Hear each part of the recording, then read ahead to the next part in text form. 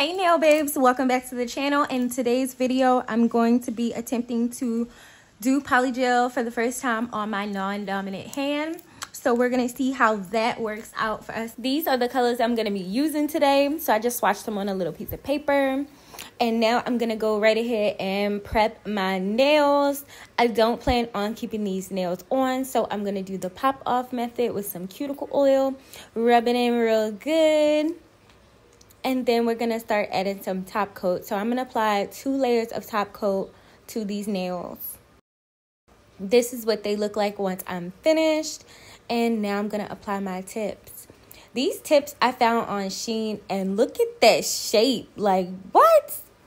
So look, right, I ordered a Kolinsky brush for polygel and I was so excited to use it, but it came broken. So I and I didn't feel like returning it. So I just went ahead and fixed it with some good old Gorilla Glue. So I'm going to go right ahead and go in with my first color. And I'm just going to start blending this out.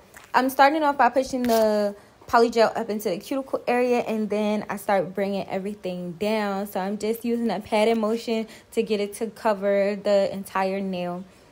Now, once I got the polygel halfway down the nail, I switched to my larger Kolinsky brush because I just felt like it just made it so much easier. These nails are long and I didn't have I didn't want to sit there and try to pat all the acrylic smooth with that tiny little brush.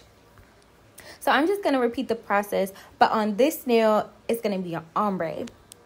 I just want to share my experience about this polygel and so far I've really been loving this polygel like well polygel in general because I only ordered this kit but just me trying it for the first time, I can say that this was the easiest thing like for me to catch on to and be able to do on myself.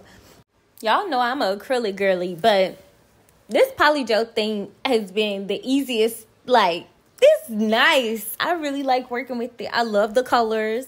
I love how it don't move when I until I move it. Like I can honestly say that this set right here that I'm doing with my non-dominant hand was the best this set was the best my right hand has ever looked because I have more control over what I'm doing while using polygel versus acrylics.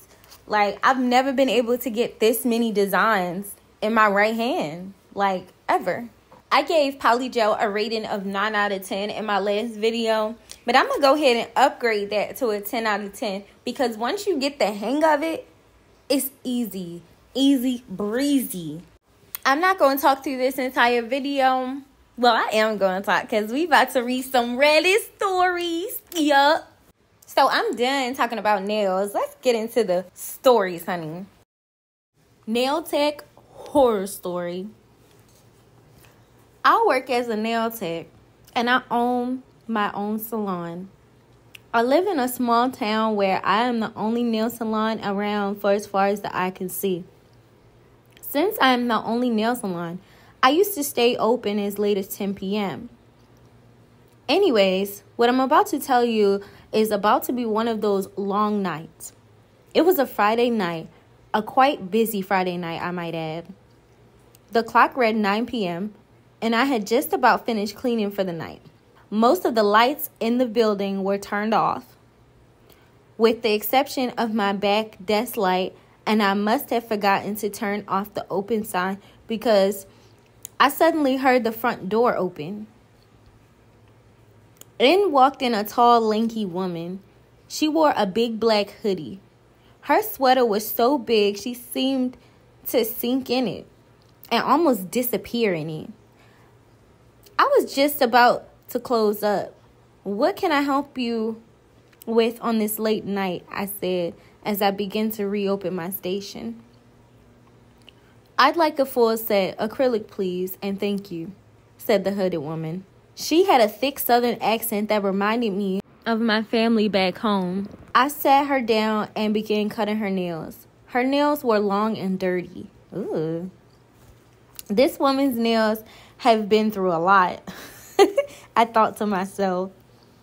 She sat quietly at my station, not saying a single word. It was quite awkward, so I decided I would try and just focus on my craft. Short and square is how I would have liked them, said the hooded woman. You got it, ma'am, I replied. The more I looked at her skinny, pale hands, the more disgusted I became. Ooh, child. I was trying not to get creeped out when my nose got the whiff of something absolutely foul. I had to get up and open the front door to let some air in. Excuse the smell. My dog must have went to the bathroom in here somewhere. But honestly, it smelled more like what I could best describe as the smell of death. I turned back around to my desk and the woman was gone. Oh, oh no. Wait a minute. Wait a minute. I searched my small salon and she was nowhere to be found. When I realized she disappeared, I got the deepest shiver go up and down my spine. I immediately closed my shop and left and didn't even bother to put away the supplies I brought out. My new closing time is 5 p.m. Girl, what? What was that? A poltergeist? Like, what? A demon just came in your shop a demon just came in your shop, girl. Oh like, my god. yeah, it would be no more lights, no more uh, late nights for me either. Child. The lady then disappeared. Let me know in the comment section what y'all would have done in this situation because I'd have ran. I wouldn't have walked. I would have ran right on up out of there. After smelling that smelly smell, I wouldn't even been looking for the Called lady. the police and closed shop. Shop would no longer be open. I would be relocated right on up out of there. Like I really just wonder like if she had never went and got up to go open the door, I just wonder how long that interaction would have taken place. Like, oh my gosh. Horror story number 2. A few years ago, I was walking through the woods off a beaten track a bit, and I smelled this really overpowering sweet smell. Being nosy, I pulled back the undergrowth to have a look and found a dead body. The guy had clearly been there a while and wasn't looking great, all swollen and green and black with various runny bits. Ew. The local wildlife had also been dining well for a few days. Ew, they was eating his body. Ugh. I called the police who told me to wait with the body until they arrived. Being in the middle of nowhere where it took a while for them to arrive and it got dark, and I was just sat there in the dark. Sorry, y'all. People be typing funny. Let me let me start over. I called the police who told me to wait with the body until they arrived. Being in the middle of nowhere where it took a while for them to arrive and it got dark, and I just sat there in the dark with him for a long time. It turned out he had committed suicide. For a long time afterwards, I had dreams about him. And he would talk to me Mm-mm. and not nice things. Oh no. Mainly about how he was angry that i had disturbed his resting place. And he wanted me to kill myself. Oh wow.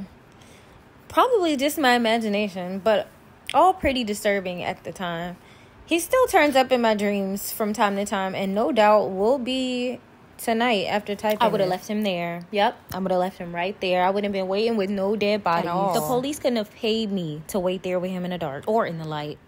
Let me know if y'all thinking what I'm thinking. I'm not sure if this was this girl's uh, uh or guy's imagination, but um yeah, I don't know. Like you, yeah, you did uh disturb his little resting place. I'm uh, gonna pray for you. I, I, I don't know. Let me know what y'all think. Y'all think that that it's just her imagination, or you think this man is really pissed with her? I bet you it'll be the last time. They bother somebody that's dead laying on the side of the road. Couldn't be me. Next story. Ooh, this one is a two sentence horror story. Growing up with cats and dogs, I got used to the sounds of scratching at my door while I slept. Now that I live alone, it's much more unsettling. That was creepy. That, that was creepy. I like that one. Jonay says, So I was sleeping, and in the middle of a dream, a character of my dream who was doing something turned her head, looked at me very seriously, and said, There's someone in your apartment. Wake up.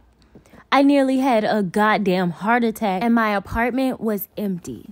Somebody gonna comment and say it was you. You were in your apartment all along. I'm dead. Okay, that was really scary. I would have been creeped out myself. I would have been too scared to even look around through my apartment. Was it just me or was everybody scared of their apartment when they first got it? Because I was real creeped out by this little place. Like I when I first moved in here with my boyfriend, like when when he wasn't home, I'd be tripping. Like I would be tripping. It took me a while to get used to the little noises and sounds. But most likely it was the sounds of other people that live in the apartment too, like upstairs and stuff like that. But yeah, I, it, it took me some getting used to. It was always fine, and there was never nobody here. So eventually, I just got used to the little sounds. It's only like the freezer sounds and the air conditioning coming on and off and stuff like that. So mm, whatever. I'm scary. Subscribe. Nope Pope says, when I was a young child, I had the same dream every night for years about drowning when a huge wave swept over me and I sank to the bottom. Years later, I had a temp job delivering mail one summer during college. I saw this old lady sitting on a front porch waiting for me. When I got up there, she looked at me and said in a foreign accent, You drowned when Oceana sank beneath the waves. It freaked me out. I don't know about y'all, but I believe in past lives. I've heard of way too many past life type stories that involve children, and it usually pretty much always involves children. Like, they always seem to remember who they were before they died and when they come back. And usually it's like a puzzle that they got to put together. So they'll like remember certain key events or something that might have happened from their past life. And then it takes them a while, like a long time, to realize what actually happened. Like a lot of them end up doing a bunch of research and then they'll actually find like if they remembered their names, they they could search those names or like tragic events that have happened in the past and they're usually able to find a person that matches their story. So it's pretty weird, but I do believe in them. Maybe that lady was a messenger to like put her mind at ease or something. I don't know. What you think? So I wasn't going to show this part of the video because I have a stiletto shaping video on my channel, but I say, you know what? I might as well go ahead because um stiletto is one of those shapes that's usually the hardest for people to get um like get you know like kind of even basically um in another video that I did I showed this bit. This bit is um I forgot what it's called but I will link it down below. I saw Zule using a bit like this if you're familiar with her channel. You should be if you like nails by the way. But I saw her using that. It's called a disc. That's what it is. It's called a disc. And that helps me get my stilettos perfect. Okay. All you do is go up and down each side of the nail until it's like nice and pointy. And that way I didn't have to use the hand file at all. I started off trying to use the hand file on my thumb, but I'll change my mind and switch right to my disc, girl, because it works wonders. Now back to the stories. Okay, I typed in creepy stories this time. Years and years ago, I was very depressed. I was living alone in a tiny apartment. I had taken a shower, put on a robe, a short silk robe for dressing, not a bathrobe, and lay down on my living room couch facing the wall. Immediately fell asleep. Woke up hours later and the pest maintenance notice was on the floor right inside the front door. He had come in and sprayed while I was laying there on the couch with my naked ass out. Freaked me right the fuck out. I went to the office and had a breakdown. They called the pest control place Tech claimed he never noticed me. Bush. I was a 600 it was a 600 square foot apartment. He definitely noticed a half naked woman sleep on the couch.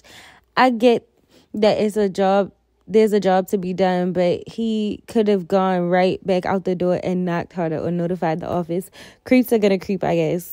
Yo, why does this remind me of something that happened to me too? I was in my apartment and I put in an order for maintenance because my air conditioner wasn't working. Like for some reason, no matter how many times they came to try to change my air conditioner um thing, it just was not working. And then this particular time when they came to replace the air conditioner, the the whole unit that they attached to the wall was just dangling, dangling off the wall. They didn't even care to secure it, girl. So I had put in that order and I was in my room, sleep, like sleep, sleep, passed out.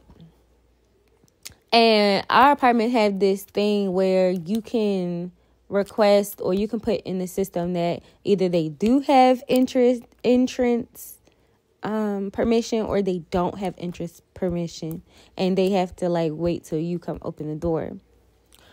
I obviously put in that they have to wait till I come open the door for them because I be home alone pretty much most of the time. I'm home alone. So um this particular day I woke up from my nap and I came I went outside my room and noticed that the air conditioner had been replaced. And I was freaked out myself because just the thought, like, even though I was in my room, like, just the thought of a person being in my house without my knowledge was wild to me. Like, it just freaked me all the way out. Because that's just it's just an unsettling feeling. So i know how you feel girl and i'm sorry that happened to you and he definitely saw you. I'm gonna try to squeeze in one more story. One more story because the video is almost over so give me just a second let me look for one. We had a computer room quote unquote in our house that was at the end of the hallway so I went down the hallway to use the bathroom and I could see the glow from the computer screen dimly lighting up the room. Then it looked like someone walked in front of it and cast a shadow on the wall. I jumped and then started laughing. Geez, you scared me. I looked in and there's no one in the room. I booked it out of there and avoided that bathroom for weeks. And then there's another person underneath this story that said, Reading your story freaked me out because something similar happened to me. We used to have a computer room.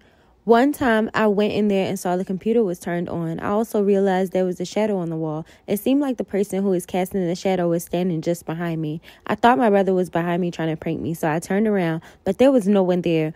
When I turned back around, the shadow paused for a second and then sprinted away and disappeared.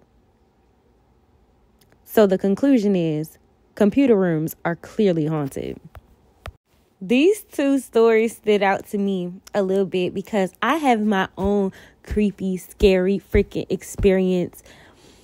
And I'm going to tell you guys about that experience, but I'm going to have to tell you in the next video that I post because it's going to be a little bit lengthy.